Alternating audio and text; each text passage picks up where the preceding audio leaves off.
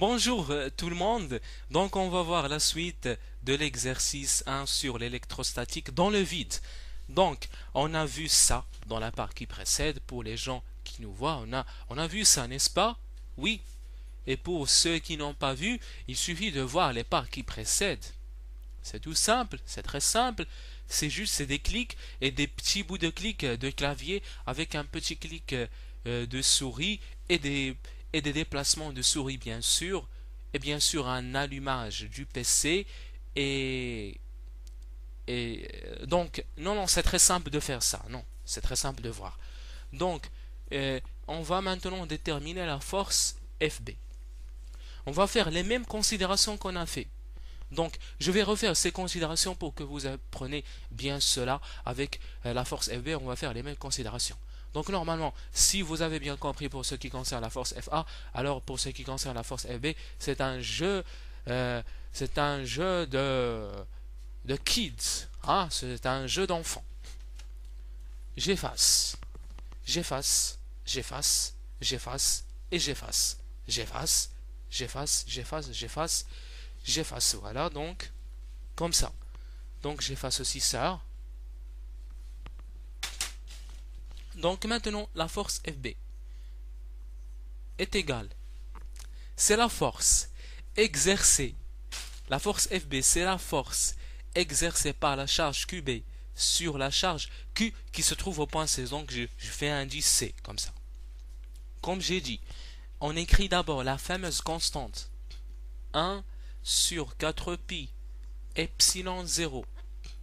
Donc j'ai la force exercée par la charge QB sur, sur la charge QC.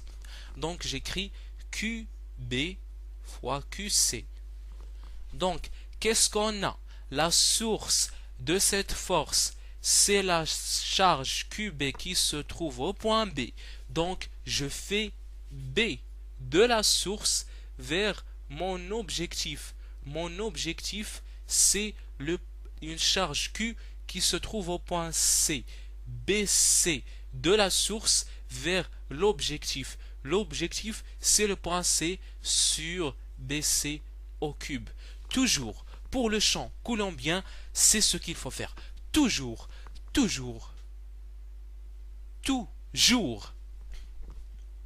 Donc, or, or, QB est égal à QC est égal à Q, donc la force FB est égale 1 est égal à Q carré, donc QB, QC c'est Q carré, donc c'est Q carré sur 4 pi epsilon 0, donc euh, BC sur BC au cube. Là c'est un calcul très simple, Q carré sur 4 pi epsilon 0 le vecteur BC voilà. Est égal à combien est égal à BO plus OC donc on a déjà expliqué pourquoi on a fait ça.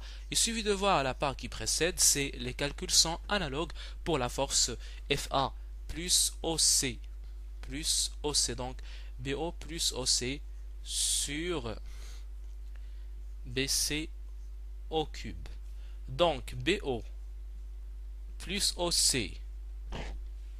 BO, c'est ces distances, mais suivant moins I. Donc c'est moins A sur 2 I. Plus OC. OC, c'est C suivant J. Donc, donc ça, je sais que ça, c'est BC. Donc je veux BC au cube.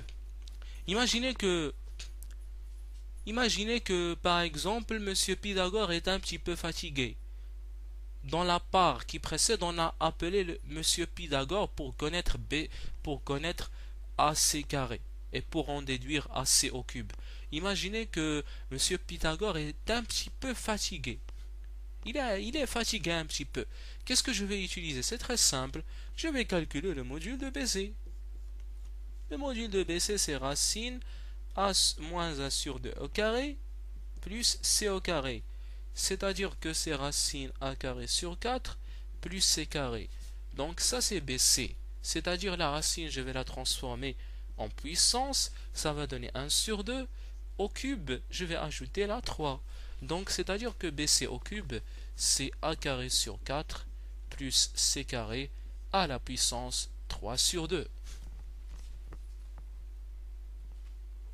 Et puis BO plus OC, c'est moins 1 sur 2 suivant I plus C suivant J. Et voilà. Et voilà la force FB. Et voilà la force FB. C'est très simple comme vous voyez. Donc c'est tout pour cette partie. On va se dire au revoir pour la prochaine partie. Dans la question qui va venir, il est demandé d'en déduire la résultante F de ces forces. À la prochaine